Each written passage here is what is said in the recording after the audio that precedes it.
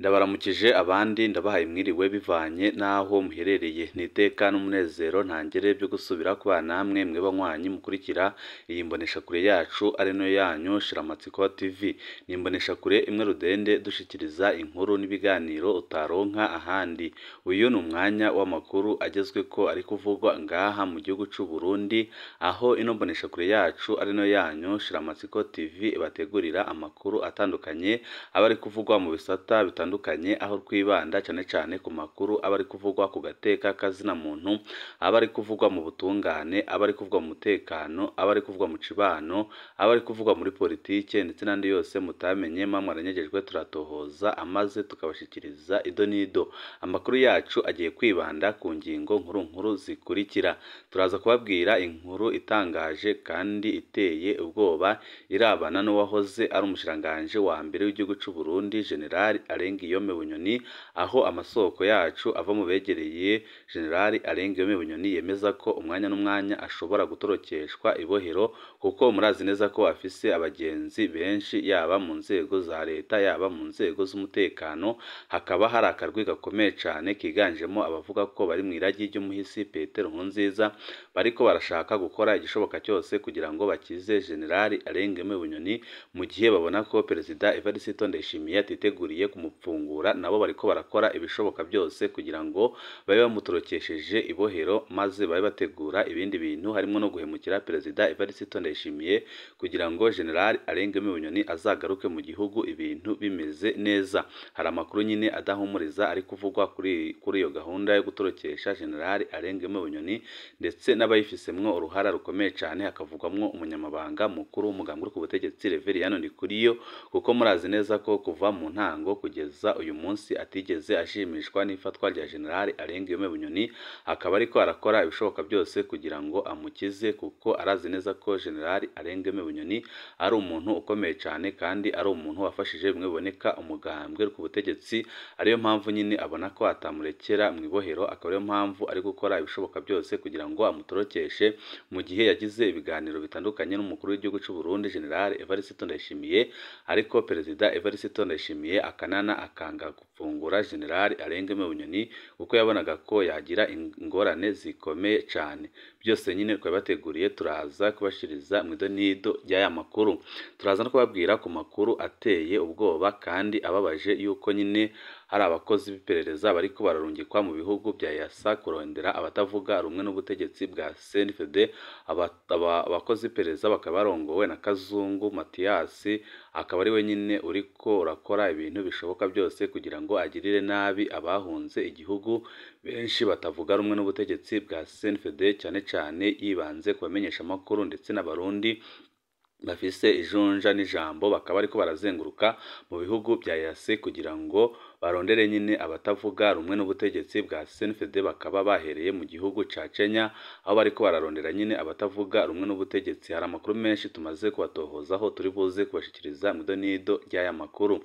Turaza no kubabwira ku nkuru iteye ubwoba kandi ibabaje irabana n'umuntu wafashije bikomeye cyane CNFD kuva iciri ku rugamba kugeza igeze mu gihugu akabaha n'ikibanza cubatsemwo ingoro y'umugambwe ku butegetsi ku rwego rw'igihugu ariko bakaba baramuhaye impembo yo kumunyuruza akaburwa irengero. Hari amakuru mashasha twamaze kumenyaho na yo nyine turaza kubashiriza mu idonido ry'amakuru ndetse n'ibindi byinshi biteye ubwoba birebana n'amabi akorwa n'intwaro iri ku butegetsi. CNFD ndetse n'ibibi yakoze kuva mu mwaka wa bibiri na gatanu ishitse ku butegetsi kugeza n'aka kanya ikibandanya gukorera icibi abarundi. Ni ngayo nyine twabateguriye tugiye kubashikiriza mu idonido wifuza kuzajya bo mu mbere bashikirwa n'inkuru n'ibiganiro bene nk'ibi. Ico ubusabwa nta kindi ni ugupyonda kuri sabone kugira ngo ko dushizeho amakuru n'ibiganiro ujye uba uwa mbere mu gushikirwa na byo.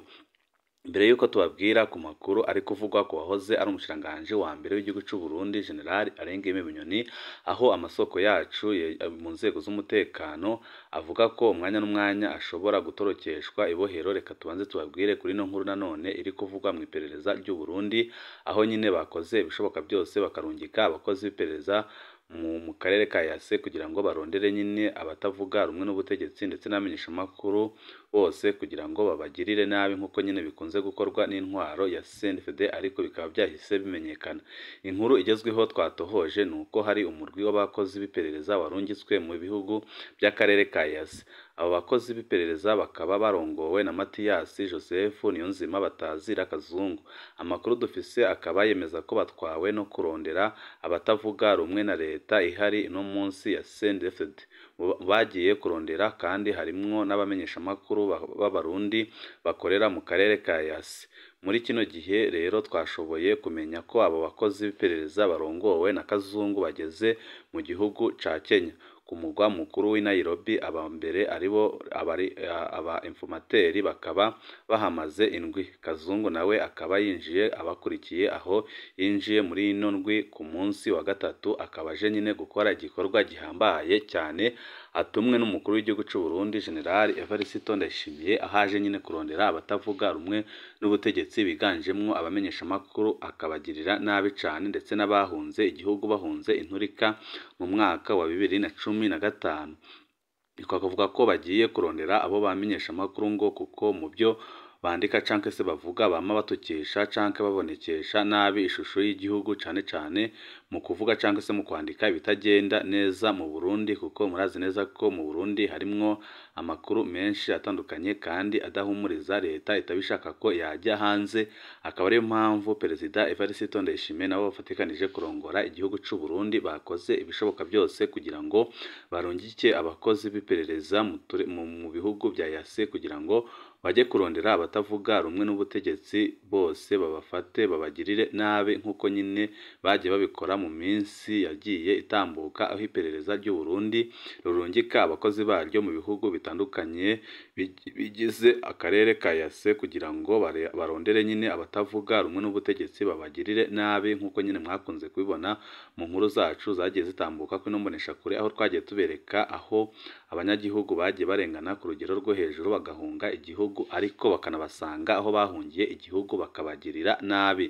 Ibyo nyine bikaba biriko birakorwa mu ntumbero yo gucecekesha abamenyeshamakuru ndetse no gufata abatavuga rumwe n'ubutegetsi bwa CNDD aho bari hose uretse no mu gihugu bakabasanga n'aho baba barahungiye intwaro y'agahotoro intwaro y'agacinyizo bakabasangayo bakabagirira nabi.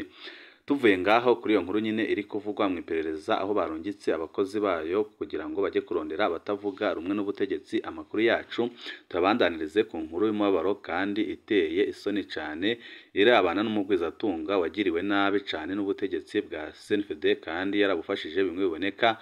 Akabaha n'ikibanza cubatsemwo ingoro y'umugambwe ku rwego rw'igihugu ariko impembo bamuhaye akaba atayindi bamuhaye uretse nyine kumugirira nabi no kumunyuruza akaburwa irengero. Abe bagategereza bakabura kugeza bakoze babonye nyine ko uwabo byarangiye. Naho yaburiwe kenshi kandi yari anamaze kurusimba Leopold Harugira ntiyigeze yibaza ko yokwanka ubuzima n'abo yagiriye neza. Uwo mugwizatunga aturuka muri zone Kamenge yari yarafashije rwose urugamba rwa CNDD imaze kuja ku butegetsi anayiha ikibanza cubatswemwo ingoro y'umugambwe ku rwego rw'igihugu. Mu bihe by'intambara bivugwa ko ari mu bafashije cyane umuryango wa Petero Nkurunziza yoba yarigeze kunyegeza abahungu babiri bakuru ba Nkurunziza mu gihugu ca Tanzania. Ariko ibyo byose ntibyabujije ko Leopold Habarugira afatwa n'iperereza ku wa cumi na kabiri Nyakanga bibiri na cumi na karindwi bigashoboka ko byanamwatse ubuzima. Uyu munsi imyaka ibaye myinshi atawuzi irengero ryiwe. Mu gitondo cyo kuwa cumi na kabiri Nyakanga bibiri na cumi na karindwi Leopold Habarugira n'umukenyezi wiwe bajanye umwana wabo ku ishuri Claire baca banahasigayo imodoka yabo. Nk'uko bari bakunze kubikora mu gatondo baca bagira urugendo rw'amaguru mu ntumbero yo kwinonora imitsi. Mu gihe bariko baraduga ibarabara rija kuri kaminuza y'umuco Université Lumière de Bujumbura ku Mutaga Nord. Barenganye gato agasoko kari kuri iryo barabara ni ho haza imodoka yirabura y'ibiyo bitabona. Ihagarara imbere yabo haca havamwo abagabo barimwo uwambaye impuzu z'igipolisi afise n'inkoho bacacira Leopold Habarugira bamwinjiza mu modoka ku ngufu aca aragenda. Leopold Habarugira yaraboroze umukenyezi arasemerera atabaza ariko ntacavuyemwo amatohoza yakozwe n'isekeza ndondeza avuga ko abo bagabo bari abakozi b'iperereza boba barimwo uwitwa Meransi uwitwa Werasi n'uwitwa Atia amatohoza ya ndondeza avuga kandi ko Leopold Habarugira yoba yaciye ajanwa mu nzu itazwi mu Karama mu nyuma yinjizwa mu biro bikuru by'iperereza aho yoba yarabajijwe ku bijanye n'impapuro z'ikibanza cubatswemo ingoro ya Senfedebe n'imigenderanire ya Hussein Rajab na Leopold Habarugira. Inyuma y'iryo sambishwa ryoba ryabaye mu ihohoterwa ryinshi Leopold Habarugira yoba yarasubijwe mu Karama. Mu nyuma aragandagurwa. Amakuru ya nyuma akamenyesha ko yoba yatawe mu kiyaga Tanganyika. Nk'uko twama tubivuga ibyo tubifata nk'inzira y'amatohoza yigenga akwiye gukorerako kugira ngo hamenyekane by'ukuri icabaye umwaka imbere y'uko ibyo byago bimushikira Leopold Habarugira yari yarusimbye ku wa mbere Ndamukiza bibiri na cumi na gatandatu mu gihe abantu bari ku ipikipiki bamusanze imbere y'urugo atashe baramurasa n'ipesitore ariko Imana irakinga amasase aranka gusohoka. Guhera ico gihe abagerageje kumuhanura ko yohunga Leopold yarababwiraga akababwira ko ataco azaba Imana itamurekuye. Indwi imwe gusa imbere y'uko aburwa irengero Leopold Habarugira yoba yararonse abamuburira ko atotaha i Burundi kubera ubutegetsi bwari bwateguye kumugandagura. Ariko yabifashe minenegwe atelefona umwe mu bakomeye mu nzego za Nkurunziza amwishura ko ataco azoba ko yokwitahira amahoro. Ageze mu Burundi Leopold yamaze iminsi itatu gusa aba arafashwe akaba yari aherutse gutahuka avuye i Tanzania kwakira imiduga yaheruka kurangura. Leopold Habarugira yari umugwizatunga akomeye akora cane cane mu rudandaza rw'imiduga n'ibindi. Mu bya politiki yari mu nzego nyobozi z'umugambwe UPD zigamibanga. Akaba n'umugenzi akomeye cane wa Hussein Rajab kuva kera. Umukenyezi wa Leopold Habarugira Liberate Ntizitonda yarigeze kuba umukenguzamateka wa CNDD hagati ya bibiri na gatanu na bibiri na cumi. Leopold Habarugira akaba yaragumye akekwa ko yoba yakorana cane na Hussein Rajab akanamurabira amatungo yoba yarasize i Burundi. Inyuma y'iburwa irengero rya Leopold Habarugira umuryango wiwe waratewe ubwoba uraca uracungwa bikomeye cane kugira ntihagire ico bavuga canke ngo bagire aho baja. ubw'Imana Mupfasoni Liberate Nzitonda yarashoboye gusohoka igihugu. Umuryango warahebuye ko utagisubira kubona uwabo ku buryo muri Kigarama bibiri na cumi na karindwi baciye bakora umugirwa wo kuganduka. Inzego z'u Burundi nta na kimwe zirakora ngo zereke abanyuruje Leopold Habarugira muri ico kiringo c'imyaka yose ishize. Ibyiza byose Leopold Habarugira yakoreye CNDD na Petero Nkurunziza byahembwe kunyuruzwa kwicwa nabi no gutotezwa abo yasize bose bakaba ariko baratotezwa ku rugero rwo hejuru mu gihe yakoreye bimwe biboneka umugambwe ku butegetsi kandi akaba yanawufashije ku buryo buboneka cane ariko impembo bamuhaye ni impembo nyine yo kumunyuruza akaburwa irengero akagandagurwa nk'uko nyine bikunze kugenda kuri benshi bakorera umugambi uri ku butegetsi CNFD iyo bamaze kubakoresha icyo bashaka impembo babaha nyine nta yindi uretse kubanyuruza bakaburwa irengero abandi nyine bakagandagurwa abandi bakaba bapfungiwe mu mabohero atandukanye ngaha mu gihugu cy'u Burundi abarusimbye bagahunga igihugu nabo nyine iperereza rigakora ibishoboka byose kugira ngo ribasange aho bahungiye kuko babona nyine ko igihe batarabagandagura ata mahoro baba bafise. Tuvuye kuri iyo nkuru nyine amakuru yacu tabandanirize ku nkuru kari twababwiye ko umwanya n'umwanya generali Alengeme Bunyoni ashobora gutorokeshwa ibohero hari amakuru tuhejeje kuronka arabana n'uwahoze ari umushiranganji wa mbere w'igihugu cy'u Burundi generali Alengeme Bunyoni ava mu bagenzi biwe kandi bari mu nzego z'umutekano ngaha mu gihugu cy'u Burundi. Yemeza ko generali Alengeme Bunyoni perezida Evariste Ndayishimiye naramuka akoze ikosa akamukatira imyaka myinshi nawe nyine azahita atoroka kuko akarwi kazamu mutorokesha karamaze gutegurwa neza kandi karamaze kuzuza ibyangombwa byose ku buryo igihe perezida Evariste Ndayishimiye azaba afashe ingingo yo gupfunga General Alengeme Bunyoni nabo nyine bazahita bakora umugambi wabo wo kumutorokesha amaze bagasigara bahangana na Perezida Evariste Ndayishimiye ku buryo nyine mu nteguro bafise ariyo gukuraho ubutegetsi bwa Perezida Evariste Ndayishimiye ku buryo General Arengemo Bunyoni yajya yagaruka mu gihugu. Ibi byose nyine bikaba biri gutegurwa n'akarwi gakomeye cyane kiganjemo abavuga ko bari mu iragi ry'umuhisi Petero Nkurunziza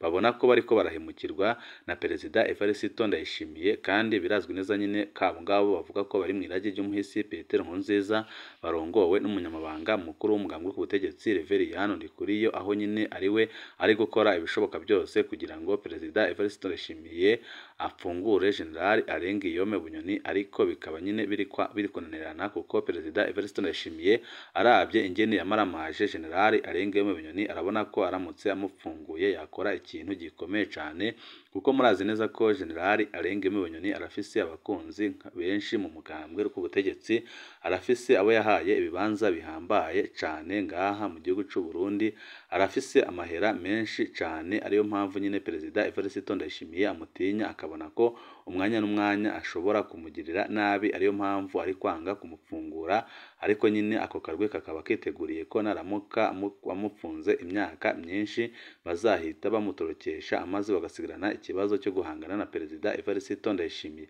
Hari amakuru menshi adahumuriza turi ko turabatohoreza arabana nyine n'ibyo biriko biravugwa ku itorokeshwa rya General Arengiyome Bunyoni byose nyine turaza kubashikiriza amakuru yacu yo hanyuma icyo ubusabwa usabwa nta kindi niba ushaka kuzajya bo mbere bashikirwa n'inkuru n'ibiganiro bene nk'ibi byonda kuri sabone kugira ngo ko dushizeho amakuru n'ibiganiro ujye uba mbere mu gushikirwa na byo. Ibihe byiza ni byo ndabipfurije banywanyi bacu.